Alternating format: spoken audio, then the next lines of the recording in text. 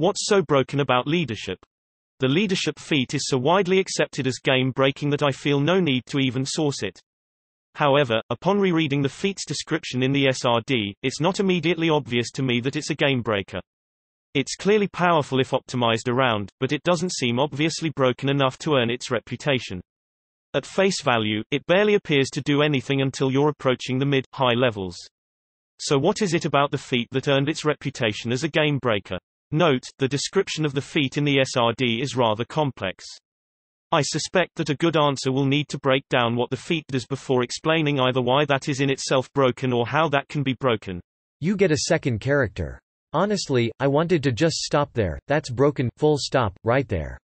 Stack Exchange is making me write more, though. Cohorts are nearly as strong as PCs and you get all of that power for the cost of one measly feat. Feats are powerful and valuable, but having another character gets you a minimum of 3, so you're net plus 2 on feats, and that's ignoring literally everything else about the character. Sure, the cohort is squishier and splitting feats between two characters limits synergy, so it's not literally the same as plus 2 feats, but you get so much else on top of that. What are the most valuable things in the game? Feats? You get more of those. Spells known? You can get more of those. Spell slots? More of that. Actions in combat? You get more of those.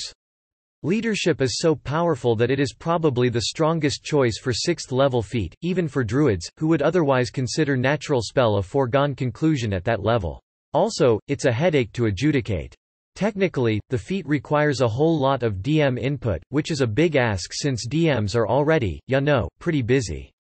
And since the DM builds the cohort, the PC only gets to roughly describe desired attributes like race and class, there is a ton of DM judgment on the line here. Exceptionally poor choices on the DM's part can take the feat's power down massively, but that's fraught with problems too. And if you go hard enough, you could turn the cohort into a liability, which is just miserable. Finally, it's just, kind of nonsense within the framework of the game. The cohort isn't a minion like an animal companion, familiar, or special mount, that shares a magical bond with and is explicitly subservient to the PC. The cohort's supposed to a wholly independent character. As such, you shouldn't be able to get one just by spending a feat, you should have to roleplay that, and it should be handled accordingly, with the character making truly independent choices and quite possibly not accompanying the PC on some of their activities.